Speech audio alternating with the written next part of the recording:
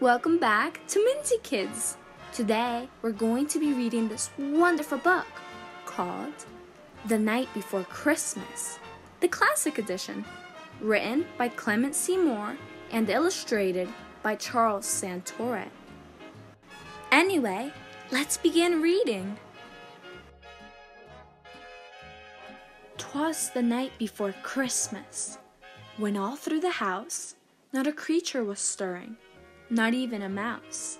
The stockings were hung by the chimney with care, in hopes that St. Nicholas soon would be there. The children were nestled all snug in their beds, while visions of sugar plums danced in their heads.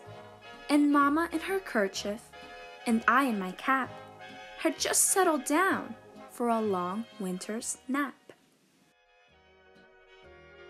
When out on the lawn there arose such a clatter, I sprang from the bed to see what was the matter. Away to the window I flew like a flash, tore open the shutters, and threw up the sash. The moon on the breast of the new fallen snow gave the luster of midday to objects below. When what to my wondering eyes should appear but a miniature sleigh and eight tiny reindeer. With a little old driver, so lively and quick, I knew in a moment it must be Saint Nick. More rapid than eagles his coursers they came, and he whistled and shouted and called them by name. Now Dasher, now Dancer, now Prancer and Vixen, on Comet, on Cupid, on Donder and Blitzen. To the top of the porch, to the top of the wall, now dash away, dash away, dash away all. As dry leaves that before the wild hurricane fly, when they meet with an obstacle, mount to the sky. So up to the housetop the coursers they flew, with a sleigh full of toys, and St. Nicholas, too. And then, in a twinkling, I heard on the roof the prancing and pawing of each little hoof. As I drew in my head and was turning around, down the chimney St. Nicholas came with a bound.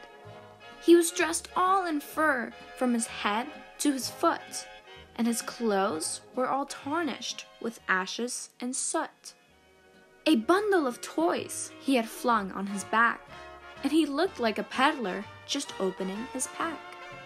His eyes, how they twinkled, his dimples, how merry. His cheeks were like roses, his nose like a cherry.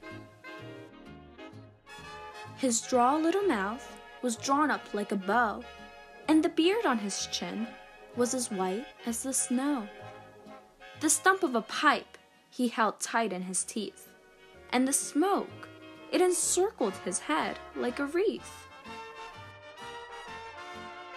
He had a broad face and a little round belly that shook when he laughed, like a bowl full of jelly.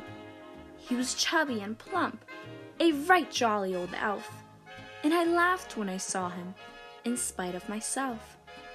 A wink of his eye and a twist of his head soon gave me to know I had nothing to dread. He spoke not a word, but went straight to his work, and filled all the stockings, then turned with a jerk, and laying his finger aside of his nose, and giving a nod, up the chimney he rose.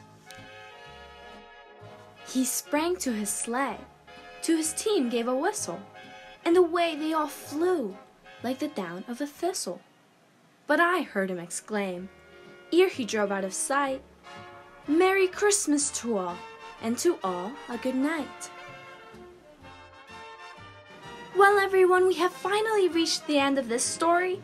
I hope you all had as much fun listening as I had reading. And don't forget to subscribe and stay tuned for this week for more Christmas videos and stories. Big head.